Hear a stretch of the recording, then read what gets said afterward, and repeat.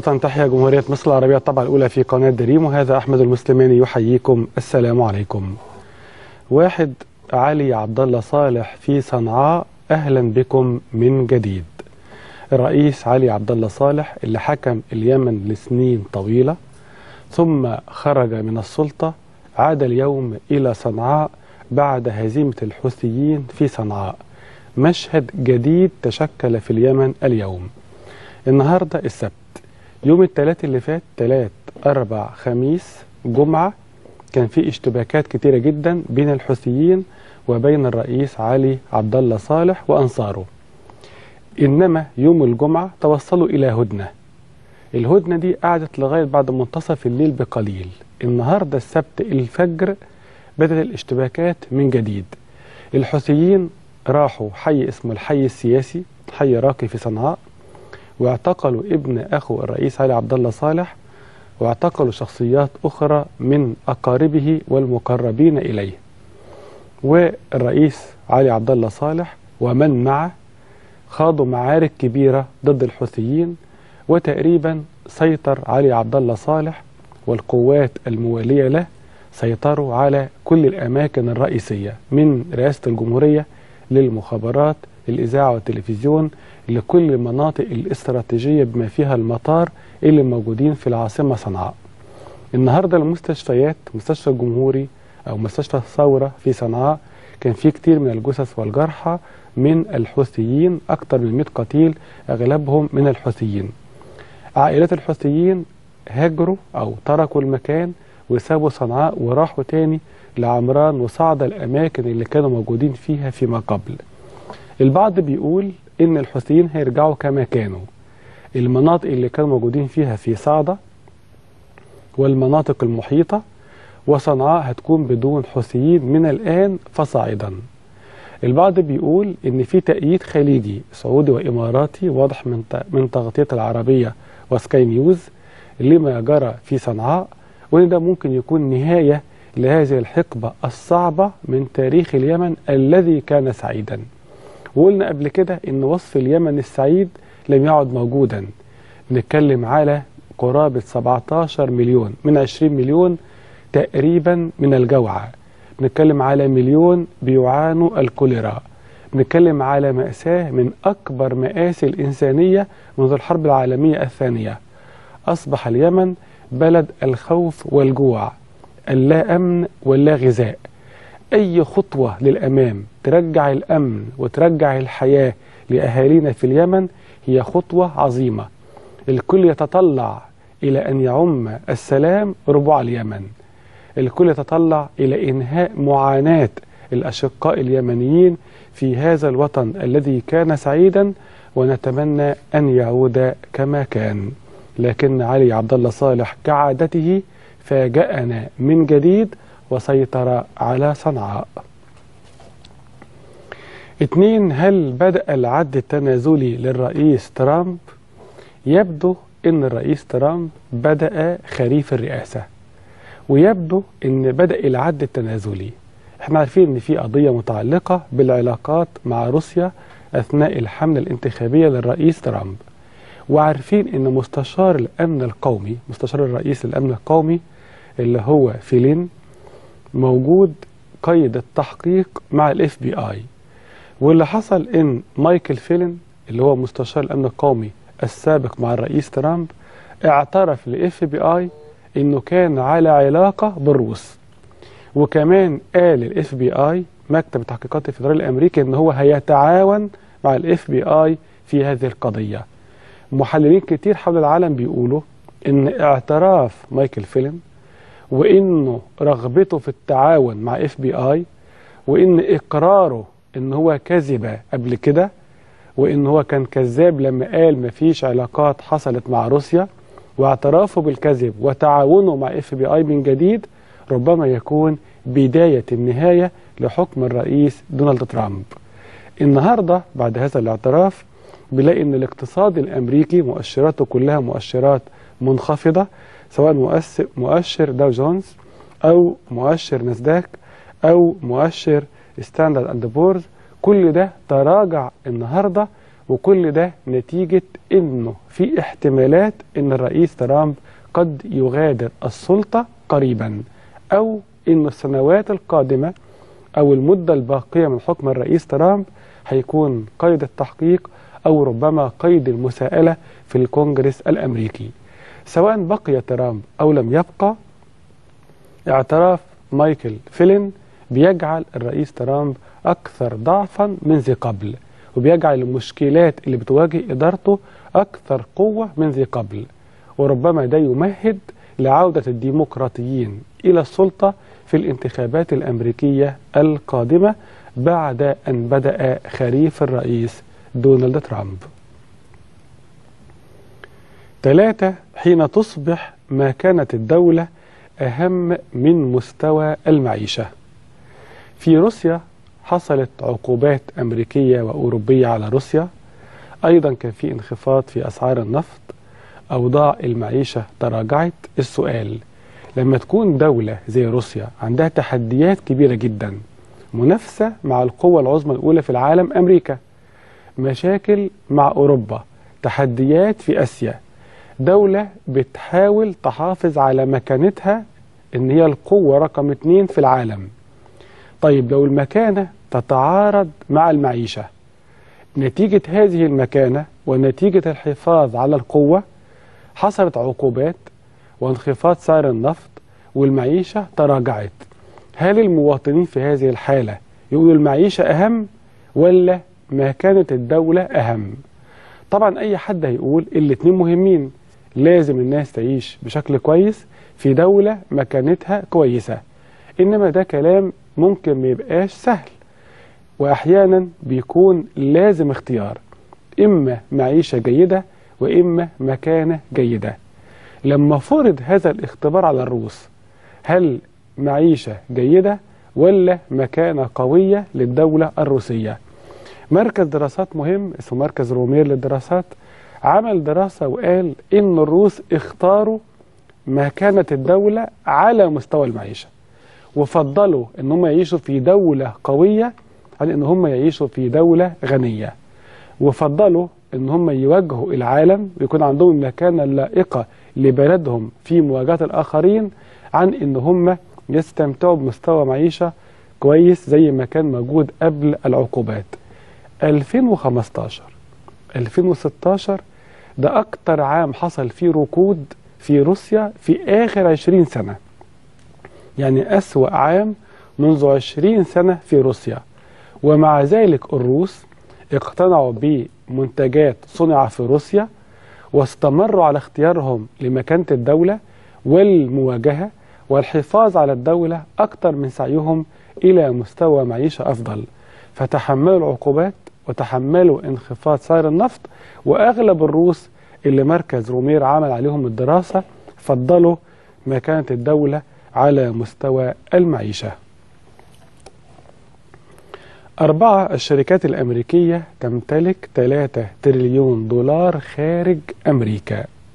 النظام الضريبي في أمريكا الشركات العملاقة جدا زي مايكروسوفت زي أبل زي جوجل زي جنرال موتورز. الشركات العملاقة ديت اللي اقتصادها أي شركة فيها أكبر اقتصاديات بعض الدول ديت لها شغل كتير جدا بره لها شغل في الشرق الأوسط في إفريقيا في آسيا أمريكا اللاتينية في أوروبا في كل مكان في العالم.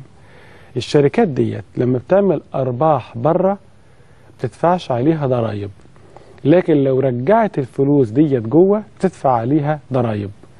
الضرائب كام؟ 35% يعني تلت الأرباح. فلو الشركة مثلا كسبت 3 مليار تدفع مليار من الضرائب. الشركات الكبرى عشان تهرب من الضرائب بتخلي فلوسها بره وتستثمرها بره بره يعني مثلا تطلع أموال من أوروبا على آسيا من آسيا على إفريقيا من إفريقيا أمريكا اللاتينية أمريكا اللاتينية الهند وهكذا. تقعد تلف برأس المال ده بدون ما يدخل أمريكا. الرئيس ترامب شايف إن لازم الفلوس دي تخش أمريكا وتخلق فرص عمل وتبقى مصانع وشركات وخطوط إنتاج. ففي اتجاه إنه يفرض ضرائب على أرباح الشركات حتى الشركات العامله في الخارج أو الأرباح اللي خارج أمريكا. طيب هل الأرباح دي كتيرة؟ CNN عملت تقرير مهم. بتقول CNN إنه 2.6 من عشرة تريليون دولار وده رقم خرافي. قرابة 3 تريليون دولار. قلنا التريليون اللي هو مليون مليون دولار أو ألف مليار دولار. شركة أبل لوحدها عندها فلوس كاش يعني ورقي فلوس ورقية 230 مليار دولار خارج أمريكا. يعني مش داخل أمريكا إنما عندها كاش صناديق فلوس خارج أمريكا. من الأرباح لشركة أبل 230 مليار دولار. وده رقم كبير جدا. ده معناه إن أنت عايز عدد كبير من البشر عايز 230 ألف شخص تقريبا علشان كل حد فيهم يشيل مليون دولار علشان يحملوا هذا الرقم الكاش لشركة أبل أرباحها خارج أمريكا فقط. وده رقم حسب CNN يشتري شركة عملاقة زي فورد للسيارات أكتر من أربع مرات أربع مرات ونص. ده قد اقتصاد دولة متقدمة كان فيها شركة عملاقة زمان كانت بمليارات الدولارات اللي هي شركة نوكيا اللي هي دولة فنلندا. فتخيل بقى إن أرباح أبل اللي موجودة كاش خارج أمريكا قد اقتصاد فنلندا تشتري فورد العالمية أربع مرات ونص.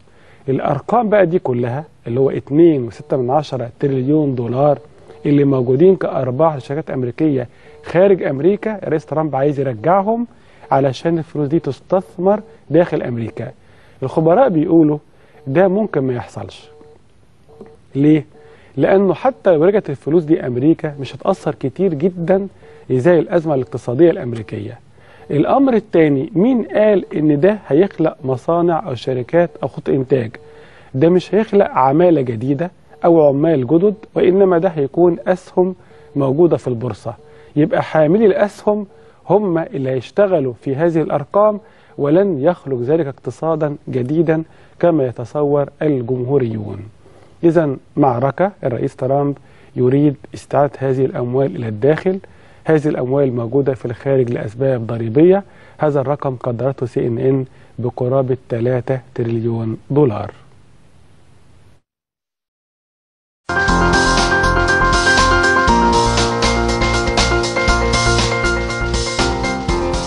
أربعة المخرج الذي صار مجرم. حرب جنرال كرواتيا يتجرع السم.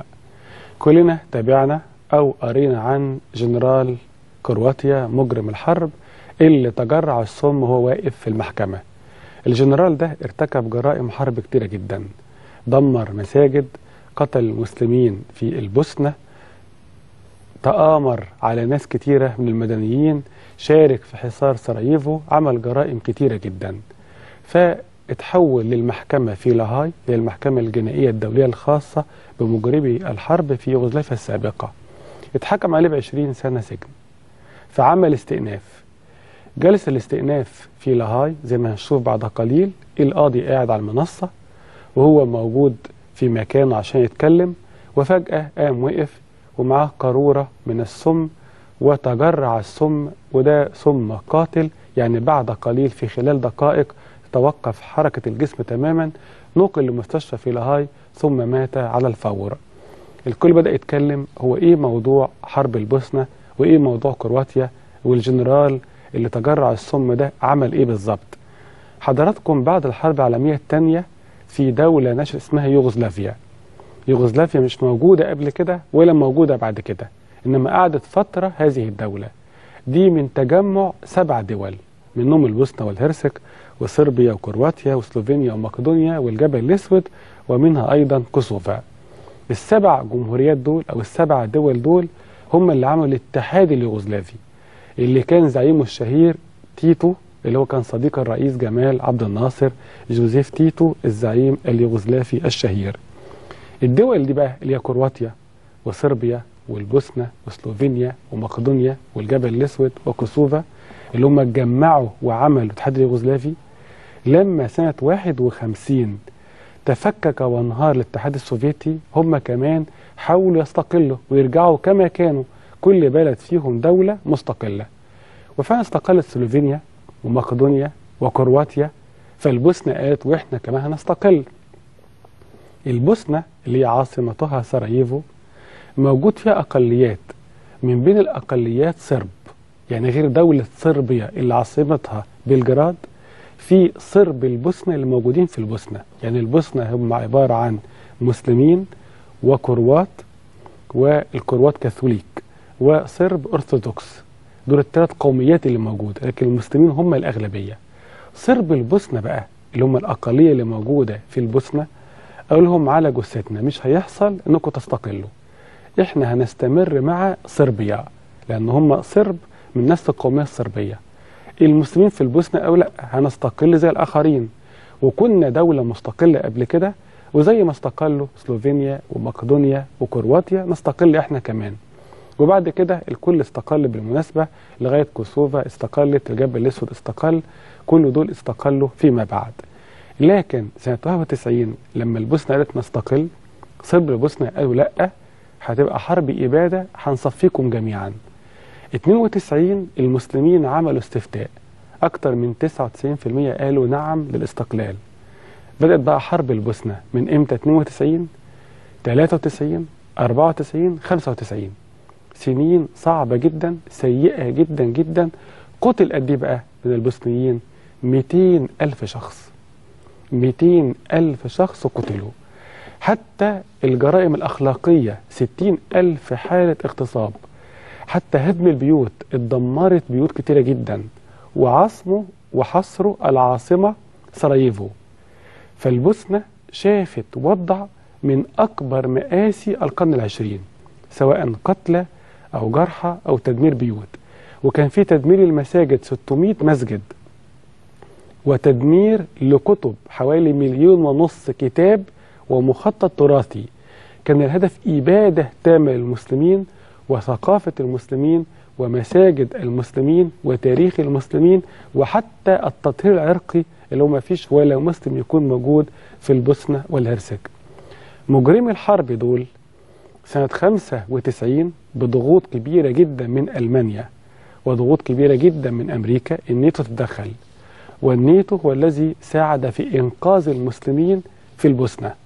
وتمت محاكمة زعيم صربيا اللي هو سلوبودان ميليسوفيتش وتمت محاكمة الشخص اللي هو عمل مذبحة سربنيتشا في 26 مذبحة حصلت. أكبرها مذبحة سربنيتشا سربنيتشا دي حتة قرية مات فيها في يوم واحد 8000 قتيل على إيد صرب البوسنة. كانت مأساة مروعة جدا من أكبر مآسي القرن العشرين. إنها بعد كده عدالة السماء تحققت في مواجهة البعض. فتحاكم سلوبودان ميلوسوفيتش اللي كان زعيم صربيا و2006 لقوه ميت في غرفته في السجن أو داخل الزنزانة. اللي هو تجرع السم ده مجرم حرب. ما يصعبش على حد لأنه قتل كتير جدا جدا. لكن قدم نفسه كبطل قومي وقدم نفسه إن هو رافض للمحكمة. ولما اتأكد في الاستئناف إنه 20 سنة سجن تجرع السم داخل المحكمة. دلوقتي الكل بيعيش في سلام لكن مفيش تفاهم زي زمان. برضه لوحدهم شوية في القهاوي في الفنادق في التعاملات بحس إن برضه كل قومية لوحدها. إنما المدارس بيكونوا مع بعض وبيحاولوا في المدارس إن هم يلغوا هذا التاريخ ويبصوا للمستقبل بحيث إن يكونوا كلهم إخوة في الوطن سواء صرب أو كروات أو مسلمين. في دولة البوسنة والهرسك. في شرح ما ذهبنا إليه من تحليل الفيديو الأولاني لحظة انتحار جنرال كروات البوسنة بالسم داخل المحكمة.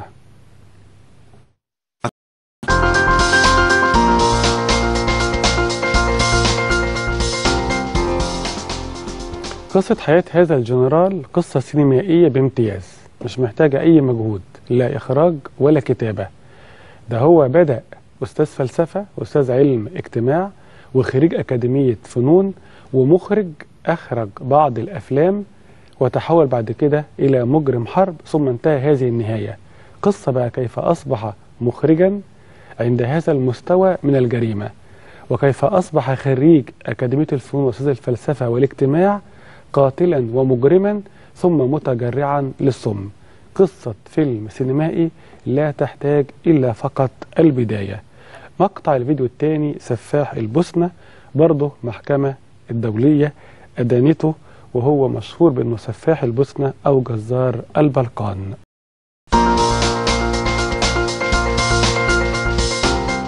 سفاح البوسنة ده أو جزار البلقان اتحكم عليه في القضية ديت بالسجن مدى الحياة. 2015 كان مر 20 سنة على اتفاق دايتون ونهاية حرب البوسنة. محطة يورو نيوز عملت تقرير مهم بعنوان 20 عاما على حرب البوسنة.